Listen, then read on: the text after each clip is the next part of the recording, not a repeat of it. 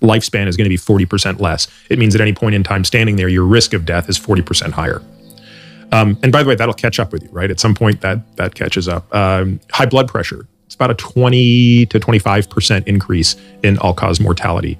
Um, you take something really extreme like end stage kidney disease. So these are patients that are on dialysis waiting for a, a, an organ. And again, there's a confounder there because there's what's the underlying condition that leads you to that? It's you know profound hypertension, you know significant type 2 diabetes that's been uncontrolled. You know that's enormous. That's about 175% increase in ACM. So the hazard ratio is like 2.75. Mm-hmm.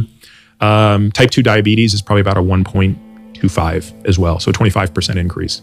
So now the question is like, how do you improve? So what are the things that improve those? So now here we do this by comparing low to high achievers on other metrics. So if you look at low muscle mass versus high muscle mass, what is the improvement? And it's pretty significant. It's about 3x. So if you compare low muscle mass people to high muscle mass people as they age, the low muscle mass people have about a 3x hazard ratio or 200% increase in all cause mortality. Now, if you look at the data more carefully, you realize that it's probably less the muscle mass fully doing that, and it's more the high association with strength. And when you start to tease out strength, you can realize that strength could be probably three and a half X as a hazard ratio, meaning about 250% greater risk if you have low strength to high strength. And high strength is the ability to move loads at 80 to 90 so it's all of defined, one repetition. It's, it's all defined by given studies. So some the most common things that are used are actually, you know, they're used for the purposes of experiments that make it easy to do. And I don't even think they're the best metrics. So they're usually using like grip strength, um, leg extensions, and like wall sits, squats, things like that. Okay. So how long can you sit in a squatted position at 90 degrees without support would be a great demonstration of quad strength, a leg extension, um, you know, how much weight can you hold for how long relative to body weight, things like that.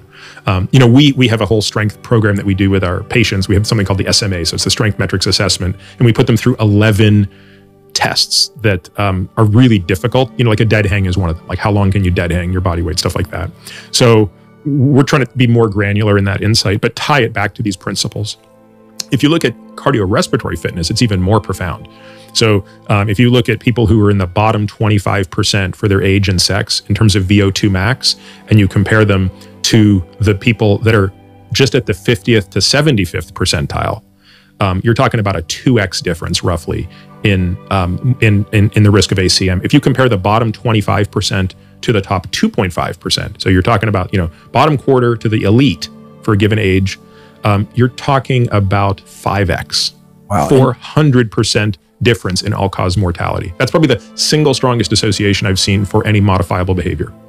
Incredible. So uh, when you say elite, these are uh, people that are running marathons at a pretty rapid clip? Not necessarily. It's just like what the VO2 max is for that. Like my VO2 max would be in the elite for my age group uh, my VO2 max, you know, but, but again, it's, I'm, I'm, training very deliberately to make sure that it's in that. So I wouldn't consider myself elite at anything anymore, but I still maintain a VO2 max that is elite for my age. Hmm. I'd, i consider you an elite uh, physician and podcast and guy all around, but true. Um, but in terms of, okay, so but the, the point is like, you don't have to be a world-class athlete to be elite got, here. Yeah, yeah. Got it.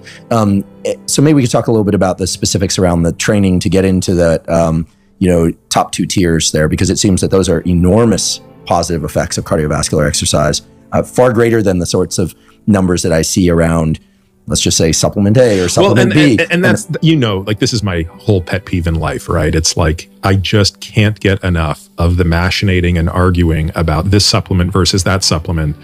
And I feel like you shouldn't be having those arguments until you have your exercise house in order. Um, you know, you shouldn't be arguing about your this nuance of your carnivore diet versus this nuance of your paleo diet versus this nuance of your vegan diet. Like until you can deadlift your body weight for 10 reps. Like then then you can come and talk about those things or something. Like let's just right. come up with some metrics like until your VO2 max is at least to the 75th percentile and you're able to dead hang for at least a minute and you're able to wall sit for at least two, like we could rattle off a bunch of relatively low hanging fruit. I wish there was a rule that said like you couldn't talk about anything else. Health related. Like Well, you just we can make that rule. no We one will make- listen to it. but- I don't know about that. We can make whatever rules we want. We can call it Attia's rule. Uh, one thing I've done before on this podcast and on social media is just borrowing from the tradition in science, which is it's inappropriate to name something after yourself unless you were a scientist before 1950. Um, but it's totally appropriate to name things after other people. So I'm going to call it Attia's rule. Until you can do the following things, um, don't talk about Please refrain from talking about supplements and nutrition. There it is. Hereafter thought of, referred to, and referenced as Attia's rule. I coined the phrase, not him. So there's no ego involved, but it is now Attia's rule. Watch out. Hashtag Attia's rule. Oh God. Um, Wikipedia entered Attia's rule. In all seriousness, and I am serious about that, um, dead hang for about a minute seems like a, a really good goal for a lot of people, at least. to- That's our that's our goal. I think we have a minute and a half is the goal for a 40 year old woman. Two minutes is the goal for a 40 year old man. So we adjust them up and down based on uh, age and gender. Great. And then uh, the wall sit. What's what are some We numbers? We don't use to- a wall sit. We do a, a- just a straight squat, air squat at 90 degrees, um, and I believe two minutes is the standard for both men and women at 40. Great. And then, uh, because for some people thinking in terms of VO2 max is a little more complicated, they might not have access to the equipment or the to measure it, et cetera. Um, what can we talk about, think about in terms of cardiovascular? So run a mile at uh, seven minutes or less, eight minutes or Uh, less. that's a good question. So there are VO2, there are really good VO2 max estimators online, and you can plug in your activity du jour. So be, be it a bike, run, or rowing machine, and it can give you a sense of of that. And I, I don't. Rem- I used to know all of Oh, those, that's okay. but now that I just actually do the testing, I don't recall them. But it's exactly that line of thinking. Like, can you run a mile in this time? If you can, your VO2 max is approximately this Great. Um, and, and and and I think somewhere in my podcast realm, I've got all those chart charts posted of like this is by age, by sex. This is what the VO2 max is in each of those buckets. Terrific. We'll provide links to, to those. We'll have our people find those links. And then um, you mentioned deadlifting body weight 10 times. I just made that one up. We I- don't. That's not one that we include, but but something, I mean, something like that. um, we use we use farmer carries. So we'll say for a male, you should be able to farmer carry your body weight for uh, I think we have two minutes. So that's half your body weight in each hand. Um, you should be able to walk with that for for two minutes. Um, for women, I think we're doing seventy five percent of body weight or something like that. Yeah, Great. I, I love it. Um, as indirect measures of how healthy and Yeah, uh, huge we are and how long we're going to yeah. live. It's basically grip strength. It's mobility. I mean, again, walking with that much weight for for some people initially is really hard.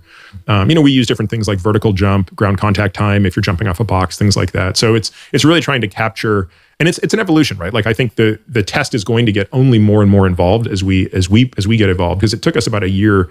Beth Lewis did the majority of the work to develop this. Um, Beth runs our strength and stability program in the practice, and you know, basically, I just tasked her with like, hey, go out to the literature and come up with all of the best movements that we think are proxies for what you need to be like the most kick-ass, you know, what we call centenarian decathlete, which is the person living in their marginal decade at the best.